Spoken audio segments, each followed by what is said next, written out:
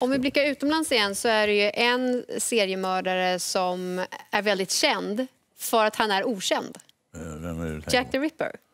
Ja, just det. Det klaras aldrig upp. Ja. Nej. Eh, Och, och det, är ju, det är ju gamla brott. Eh, London, eh, där London är som värst vid den tiden på 1800-talet.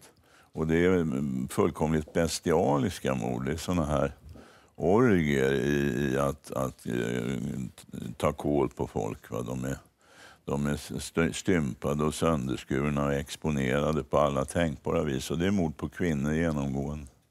Och där har man ju spekulerat våldsamt vem som har gjort dem där. Och, och det, de spekulationerna har omfattat allt ifrån medlemmar av engelska kungahuset till kända läkare och, och till en mycket känd konstnär och sådana där saker.